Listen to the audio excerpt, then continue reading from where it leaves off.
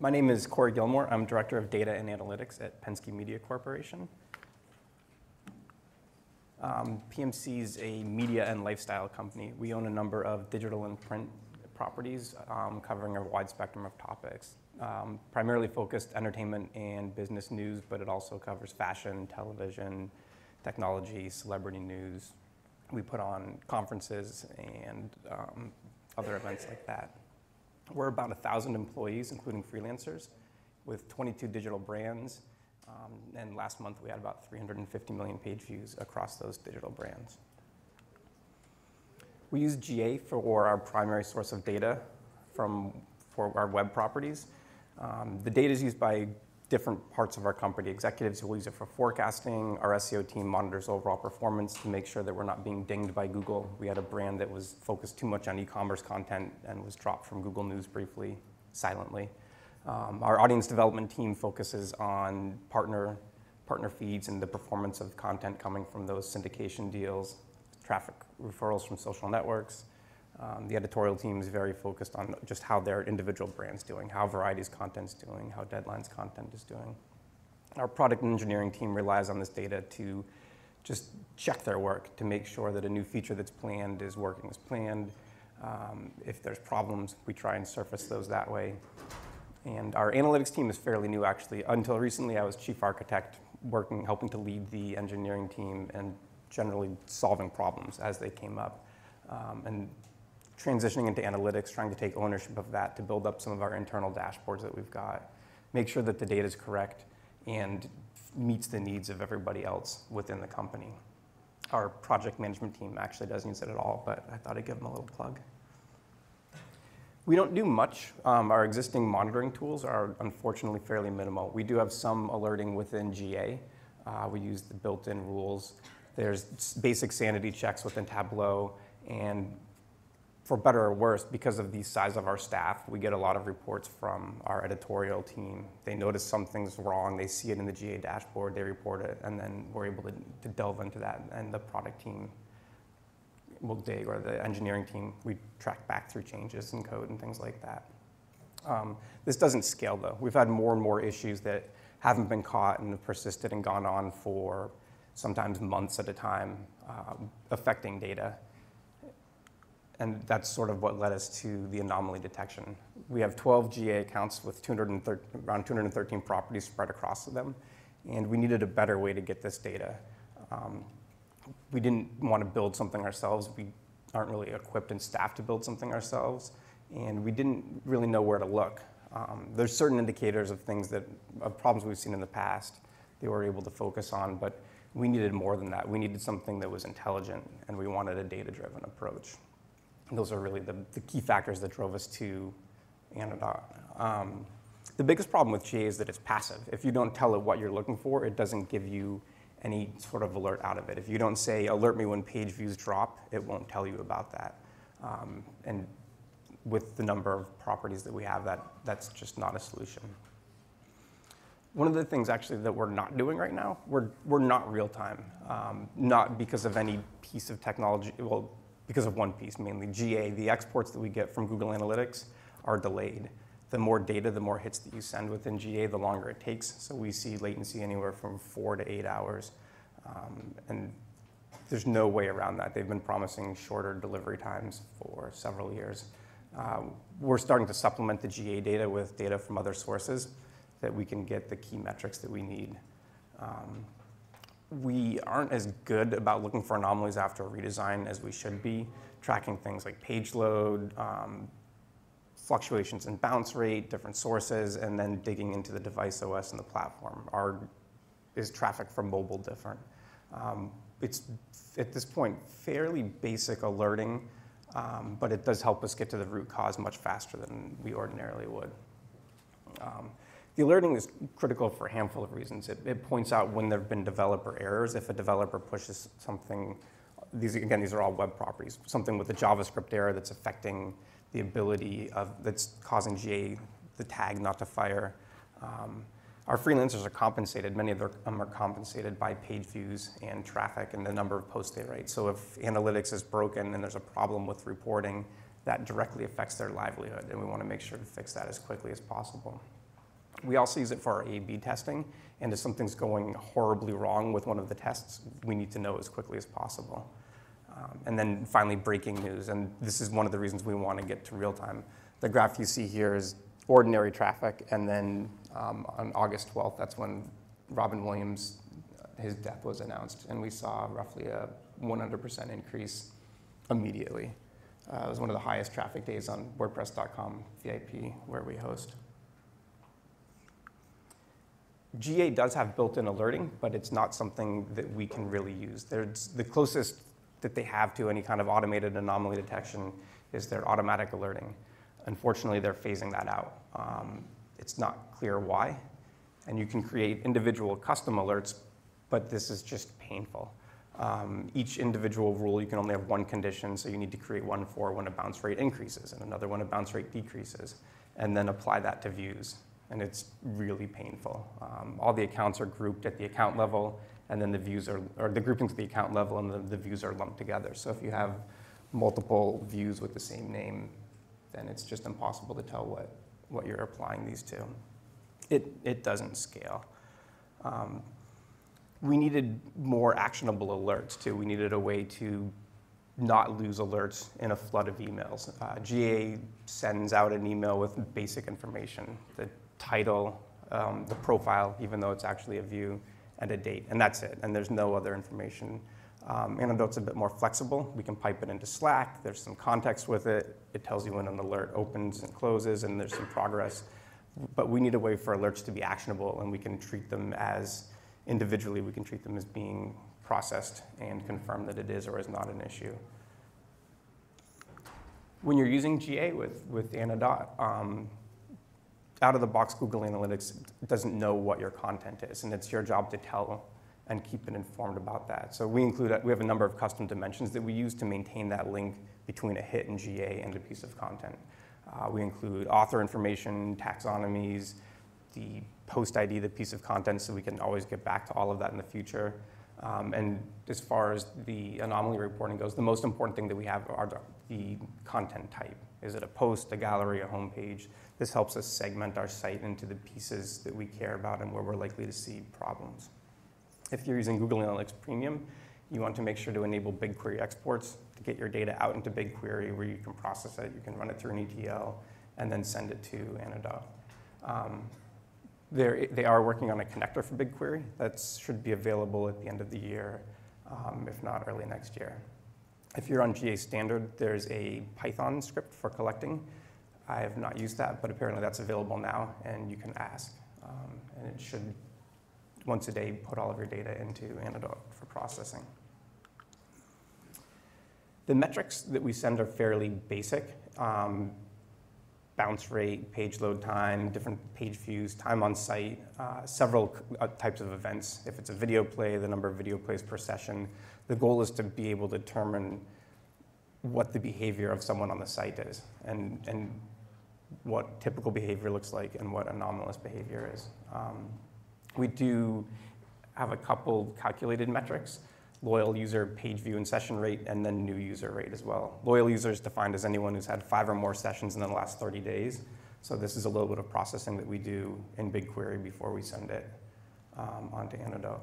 And the new user page view rate is kind of a flattening of a dimension into a metric rather than just a one or zero for if it's a new user, we track how many page views we're getting from an individual user. This is what drove us to really looking for um, a solution for anomaly detection. This is a kind of a classic error. This is a mistake we've made a few times and finally had enough. Um, we were sending double page views on the front end. So as soon as you hit a website, we would send the page view to GA, and then a fraction of a second later, send another one. Um, editorially, people are happy. They look at one number, they see page views going up, they're very excited. Um, but they don't look at the other number where bounce rate plummets down to zero because everybody's staying for two page views. Um, in three days, there was a 45% increase in page views and about 145% decrease in bounce rate. Um, this, and this is a typical mistake for us, and it's unfortunately fairly easy to make. Um, just a few weeks ago, last month, we had a similar problem, and this time it was caught. Um, and we did get some alerts about it. Same type of problem. We were double counting page views, but only in one part of the site, only on gallery pages. So it, this is where it's important to have that content type and be able to isolate pieces of your site. Um, anybody on certain sites with a certain version of the gallery plugin running would send a double page view, and you can see the bounce rate dropped until we were able to catch it and correct it a few days later. Um, so it's been really helpful, and if you are using GA, I don't have them shown here, but annotations are helpful, and then you can indicate why that drop was there, just to close the loop when people are looking and see something like that. Another issue we've had recently was um, referrer spam from a site called steep.tv. It's a website that is part of a malware browser plugin on Windows, and it, behind the scenes, unbeknownst to the user running it, will hit the homepage of your site briefly with the refer set to steep.tv, and then leave immediately. Um, again, this is something editorial likes. Your page views and your traffic goes way up, your uniques go up.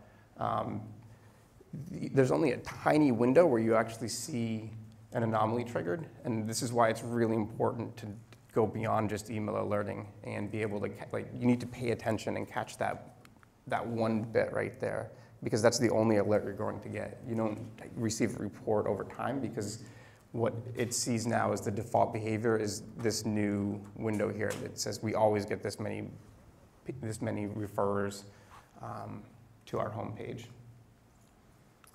And there's a brief moment of uncertainty where the um, just the, the confidence widens, and then you can see obviously we, we caught it and corrected it and started blocking traffic from that refer. But this was during a period of troubleshooting the, the problem with Google News, and we discovered several other, other incidents. Uh, we, have, again, we have a fairly fast moving development team, and we do cause a number of different problems. Um, sending interactive versus non interactive events in Google Analytics is problematic if it's interactive, it will trigger a change in bounce rate, and your bounce rate will again drop like you've seen here. Um, this was more of a procedural thing. We did get a notice um, sort of at that point, and we caught it, we fixed it, we had a discussion, and made sure that in the future developers knew we, we documented that process. Um, these are the, the types of things that we wouldn't necessarily catch on our own because we're looking at too many properties and when you zoom out, it's hard to see the, the fluctuations in bounce rate at the weekly or monthly level. Um, just recently, we had a, another surge in, um, in events. So with every page view in GA, and you can also send an event that says, clicked on this, scrolled to this level. Um, for deadline, it was just overall the number of events went up from under 1,000 to nearly 30,000.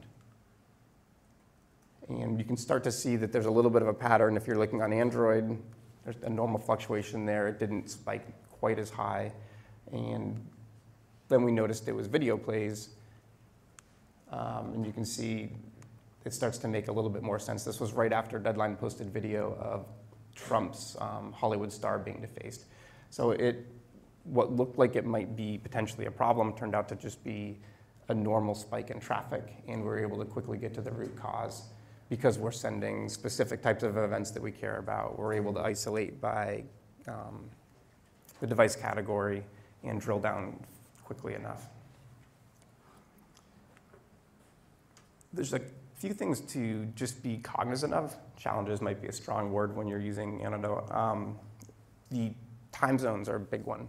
In BigQuery and Anodot, it's UTC, whereas your GA dashboard is going to be the local time, Pacific time or Eastern. Um, as a result, you'll see page views spread out over several days. Sometimes, if something's published late at night, you'll see it um, split between two different days in the, the dashboard. Um, when you're trying to dig in and, and see what might have caused it and you're looking up your annotations, just something to be aware of that it's not going to be a perfect one to one alignment.